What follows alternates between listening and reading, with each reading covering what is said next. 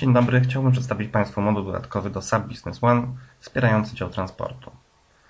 Moduł jest dedykowany dla firm, które, które planują i organizują transport swoich produktów bezpośrednio do klientów przy współpracy z firmami spedycyjnymi, jak również z prywatnymi przewoźnikami. Po uruchomieniu modułu dodatkowego pojawia nam się nowa zakładka Transport, wywołujemy moduł zlecenia transportowego.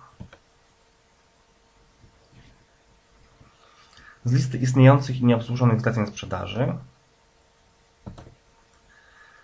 wybieramy zlecenia według trasy i daty załadunku.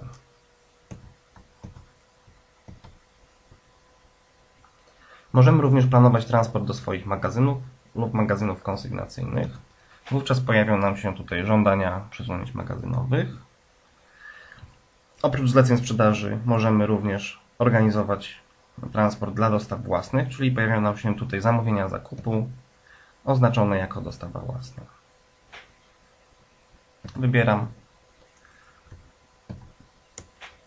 dane zlecenia do swojego zlecenia transportowego.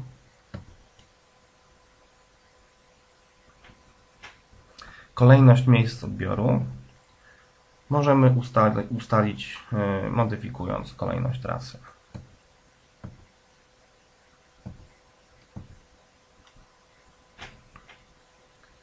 Po wyborze przewoźnika, który mógłby obsłużyć nasz transport,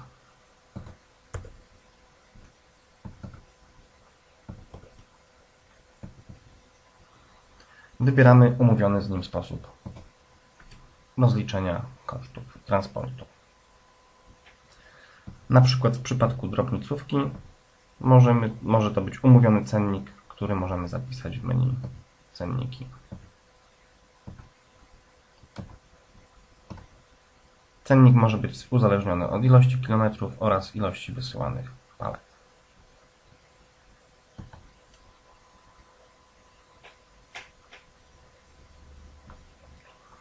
Wykonam kalkulację kosztów trasy według kosztów cennika. Koszty transportu zostały naliczone, a koszt, kwota kosztów została przypisana do konkretnych zleceń sprzedaży. Możemy również prowadzić mm, kalkulację trasy według kilometrówki. Wówczas musimy uzupełnić stawkę za kilometr.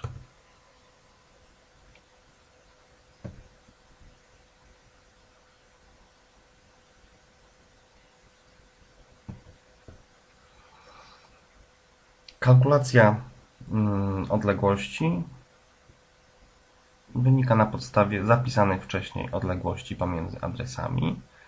W przypadku, gdy dany adres nie istnieje na liście, system poprosi o uzupełnianie ilości pomiędzy określonymi adresami odbioru.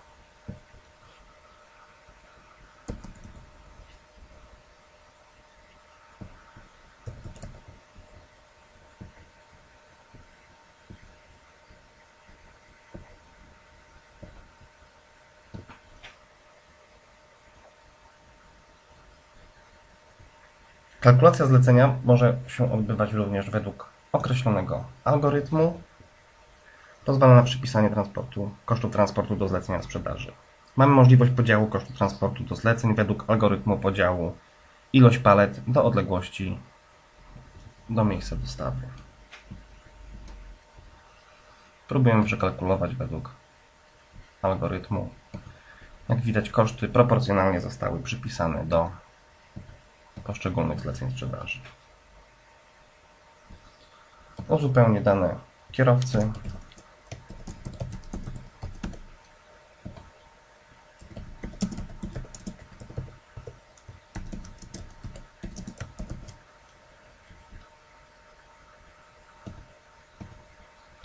oraz planowaną datę załadunku i żądaną datę, godzinę załadunku.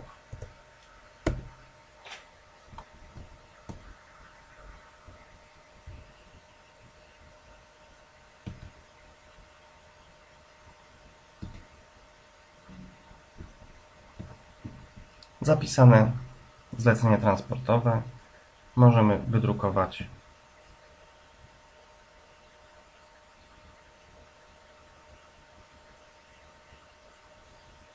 i wysłać do przewoźnika z umówioną warunkami biznesowymi. Możemy również wysłać je drogą mailową w formie PDF.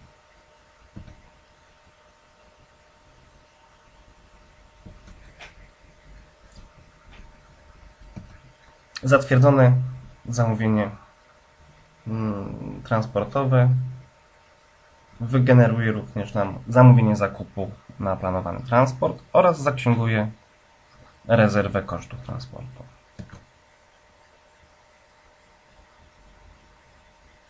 Możemy sprawdzić podłączone zamówienie zakupu z podziałem kosztów do konkretnego zlecenia sprzedaży oraz zobaczyć dopisany zapis księgowy rezerwy.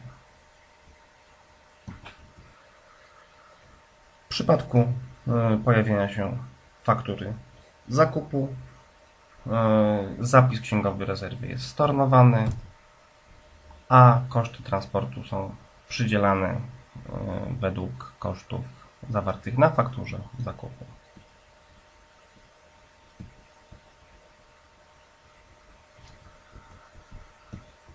Na podstawie raportów mamy możliwość sprawdzenia kosztów transportu na klienta, na zlecenie, na przewoźnika.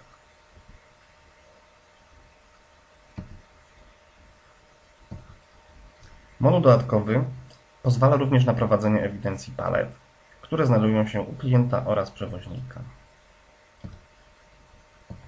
W tym celu do wysłanych dokumentów WZ możemy rozliczyć wysłane palety, palety odebrane od klienta przez przewoźnika, palety, które zostały u spedytora oraz ilość odrzuconych palet przez klienta.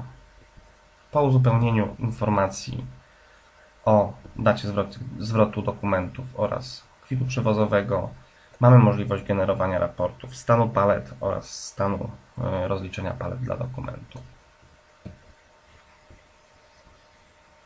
Możemy sprawdzić saldo palet według dokumentów.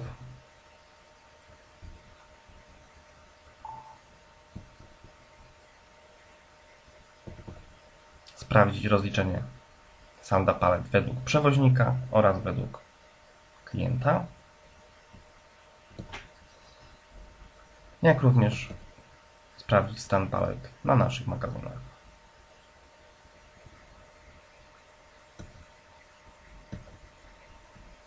Dziękuję Państwu za uwagę.